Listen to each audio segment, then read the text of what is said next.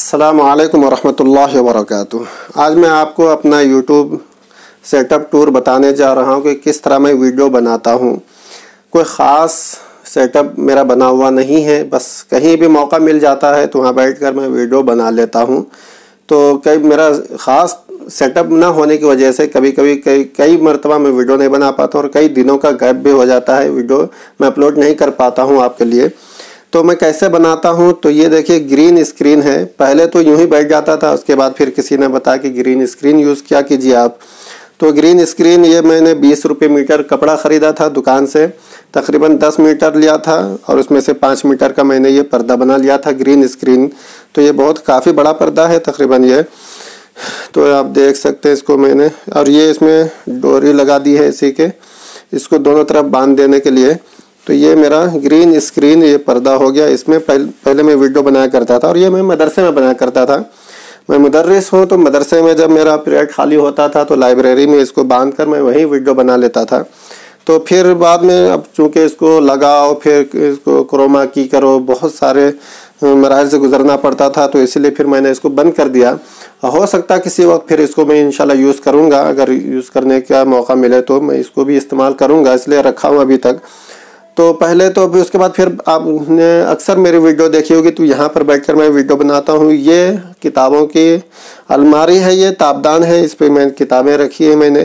तो green screen के बाद तकरीबन मैंने इसी तरह की वीडियो बनानी शुरू कर दी थी कि अब उसको एक बार इसको एडिट करो, फिर क्रोमा की करो, फिर उसको जो है तकरीबन अच्छे अच्छे तरीके से एडिट करके अपलोड करो।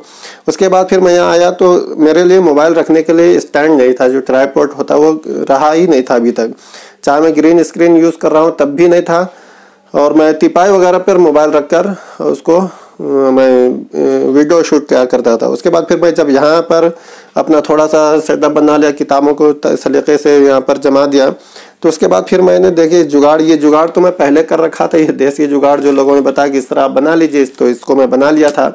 ये बॉटल में पानी भर दिया हूँ, एक ढक्कन लेकर इसको जो है मोबाइल रखने के लिए कट कर दिया हूँ, इसमें मोबाइल अटका कर रख देता हूँ। ये दो किताबें आप देख रहे होंगे।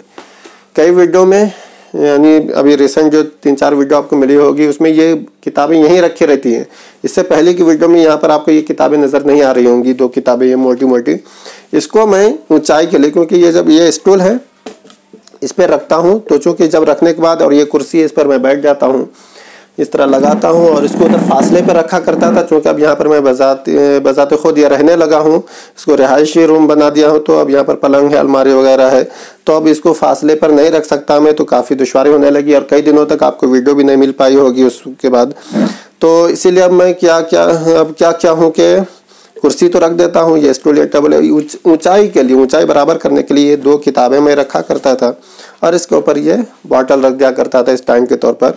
तो फिर जब ये ऊंचाई बराबर हो जाती थी और पूरा कवर हो जाता था ये हिस्सा तो आप देख रहे होंगे कि पहले मैं बीच में बैठकर वीडियो बनाता था, बीच में नहीं बैठता हूँ। इधर साइड में बैठता हूँ यहाँ पर। और ये छोटा सा टेबल है, काफ़ी कई साल, दो चार साल पहले मैं लेकर रखा था इसको किसी काम के लिए लैपटॉप के लिए। अब ये लैपटॉप है, छोटा सा कहीं से मैंने ले लिया था उसको यूज़ करने के लिए उस पर कुछ काम भी कर रहा था। तो देख रहे होंगे, एक दो वीडियो में आपको ये लैपटॉप भी नज़र आया होगा। तो ये अब दो चार वीडियो से मैं इसको यूज़ कर रहा हूँ। तो ये पूरा सेटअप टूर है मेरा, कोई ख़ास इस तरह जमा हुआ या बनाया हुआ सेटअप नहीं है, बस जो है ये दीवार है, इस पर भी कुछ जो है डिज़ाइन वगैरह या डेकोरेट नहीं किया गया है। अब मैं जो बनाता हूँ, आप देख रहे होंगे कि ये दो किताबें जो मैंने आपको ऊंचाई के लिए बताई, ये यहीं रखी रहती है।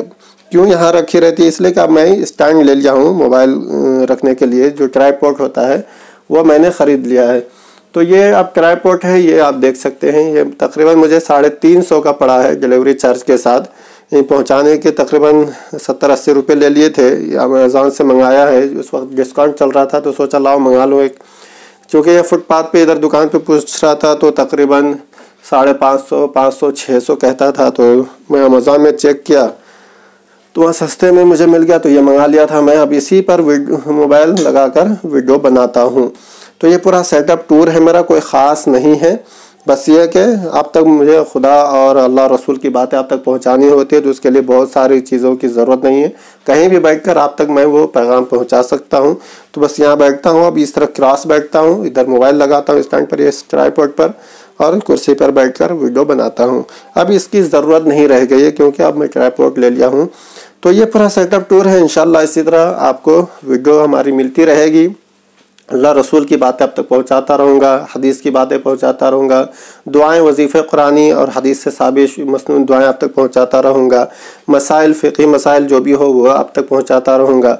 तो मुझसे जुड़े रहें और वीडियो को देखते रहें और दूसरों को भी शेयर ज़रूर करते रहे ताकि दूसरे हजरात भी ज़रूर फ़ायदा उठा सके।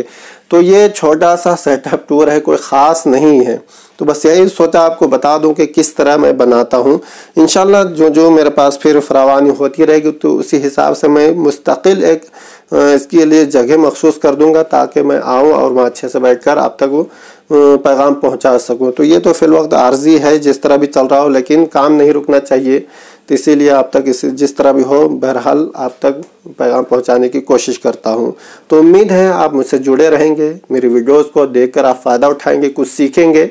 जो भी सीखा हो, कुछ फ़ायदा उठाया हो तो मुझे ज़रूर कमेंट करके बताएँ, ताकि मैं अल्लाह का शुक्र अदा करूँ कि किसी को कुछ तो फ़ायदा मुझसे पहुँच रहा है। तो बस दुआ करते रहे, कि अल्लाह रब्बुल इज़्ज़त वसत और फरावानी दे। तो इन अच्छा खासा कुछ ज़रा बनाकर फिर अच्छे से मैं काम करके आप तक पैगाम और खुदा रसूल की हदीस की बातें आप तक पहुँचा सकूँ, फ़िकी मसाइल आप तक पहुँचा सकूँ। और आप एक अच्छे चैनल से जुड़े हुए हैं तो इन यहाँ पर अहल हक़, अहल सुन्नत जमात, जो हकीकी अहल सुन्नत जमात है, वो उनकी तरफ़ से आपको पैगाम और मसाइल वगैरह हर चीज़ यहाँ पर मिलती रहेंगी। तो इजाज़त दें, फिर मिलेंगे इन अल्लाम वरहमल वर्का